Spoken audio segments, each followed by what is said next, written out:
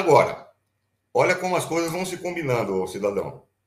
Eu fico fascinado por isso. Como é que as coisas vão.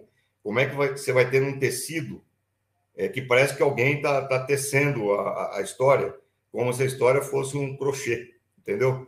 Como é que, que imagem romântica, o Arbex, o crochê da história, adorei. É, o crochê da história é, é, é, bem melhor que o crochê do forro, do teu gorro aí. tá bom, Arbex. Olha como que a coisa. Por que eu estou falando isso?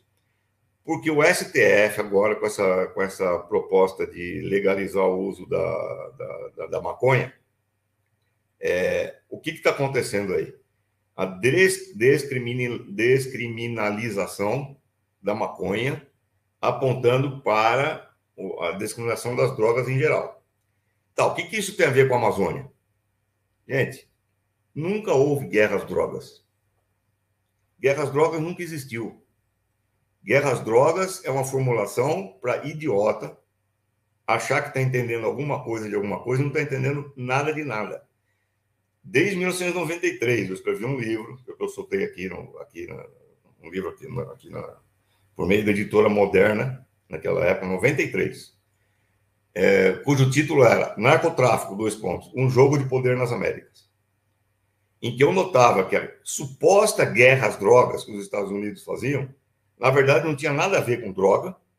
Na verdade, era uma guerra, é, era uma guerra social que visava principalmente a população negra, pobre, das periferias, porque branco com droga nunca foi preso, sempre foi mandado para a clínica de reabilitação, enquanto que quem vai preso mesmo são os pobres nas periferias, etc. e tal.